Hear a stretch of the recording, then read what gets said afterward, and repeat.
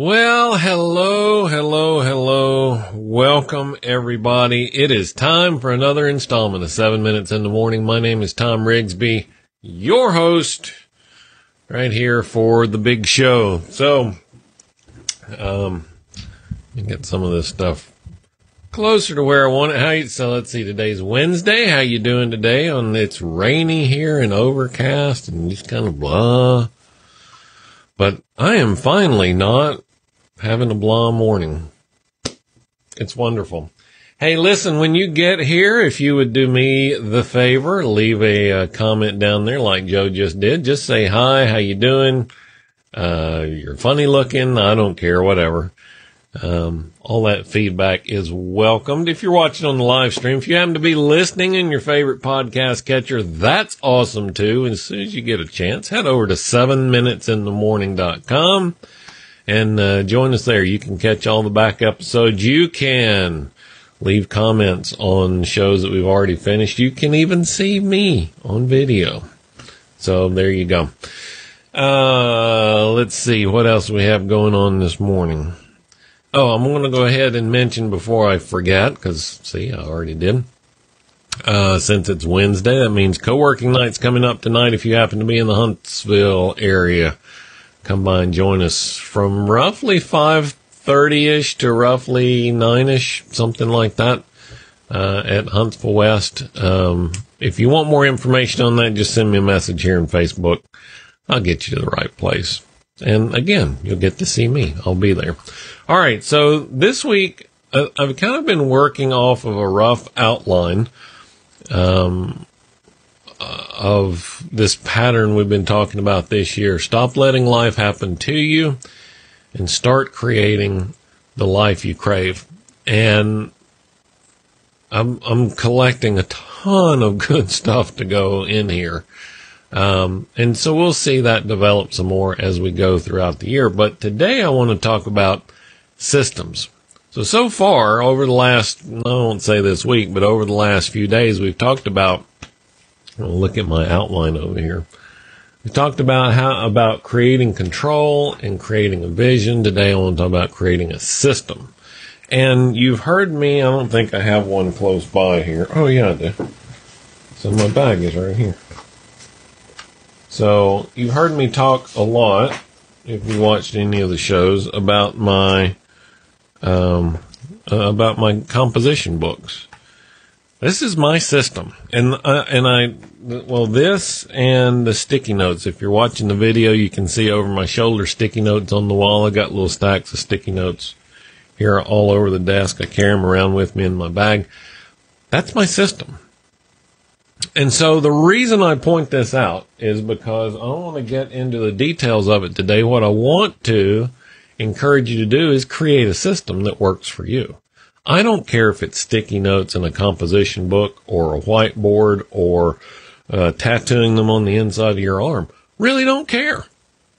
It doesn't matter to me. What matters to me is that you have a system that works for you. Now, the reason that this works for me is because, you know, for the sticky notes and the whiteboard, it's very visual. It's easy for me to rearrange things. I can see everything at a glance. I can see what needs work and what doesn't.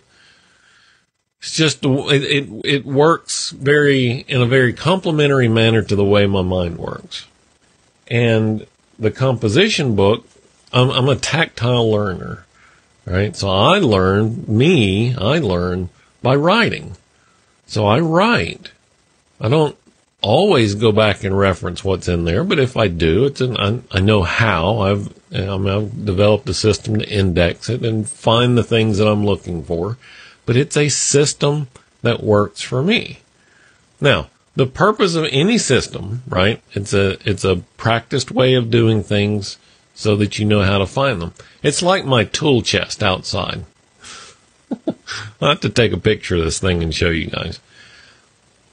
My wife looks at that and thinks, how do you ever find anything? But I have a system. I have the drawers are organized into certain types of tools, right? So I know if I'm looking for a screwdriver or anything that, that works like a pair of pliers, that's going to be in this drawer. And so when I get things, and I, you know, over the past couple of weeks, I've acquired new tools. I take those, and when I'm deciding where they go, I think, okay, where would I look for this? You know, when I come back to, to get it, where would I think that this goes? And then wherever I would think that it goes, that's where I put it. That's the system. So then when I come back and think, okay, well, this is pliers, it kind of goes and, all right, so that's where I think to look at, or, or would think to look for it. And so that system works for me.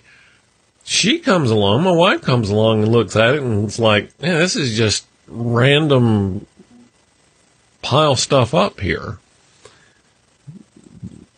But it, so it doesn't work for her. The, so the same system, uh, my, my point here, I'm, I'm rambling on a little bit. My point here is that my system may work great for you, but the best system is the one that works for you. So I want you to think about this as we get ready to to uh, get underway with our Wednesday this morning. My question for you: What you know, what system do you have in place? I mean, even even in terms of making sure you've got all your stuff before you leave the house, how do you do that? If you don't have a system for it, that's uh, then then you will probably uh, tend to leave things at home. If you don't have a system for tracking and getting things done, you probably don't get things done. All right. So I want you to carefully consider what systems you already have in place. If you drive to work the same way every day, that's a system. Right. So identify what you already have leverage what you already have. And then for the areas where you are not making the progress, you're not getting the results that you want, that's where we can do some work and help you create a system. All right. Thanks so much for being here. I am 99% sure we'll have a coffee shop show today. 98% sure we'll have a coffee shop show today. Be sure to tune in for that. TheCoffeeShopShow.com. Get you to the right place. Um, yeah, that's it. If you're listening to the podcast, uh, be sure to head over seven minutes in the morning.com. Check us out here. If you're watching video, if you're watching on the video and you'd like to get it uh, on your podcast catcher, it's on iTunes, Stitcher, all uh, tune in, all the great sources for podcast. Brooke, you threw me off there. Brooke's got a, a good comment though. The first time I've heard you mention indexes in your book. It makes sense now. So I, I haven't done it to this book yet because it's still in progress. Um, but when I am, when I finish one book and I move on to the next book, I'll see if I can find one to show you guys tomorrow. I, I look through the book I just finished to see if there's anything that I need to transfer into the new book. And while I'm doing that, I take, uh, I don't have any over here. They're over by my other chair. Take a highlighter, like, I mean, Sharpie highlighter or something, and I will, I'll just show you. Color the edge of the page right here on the back of the page.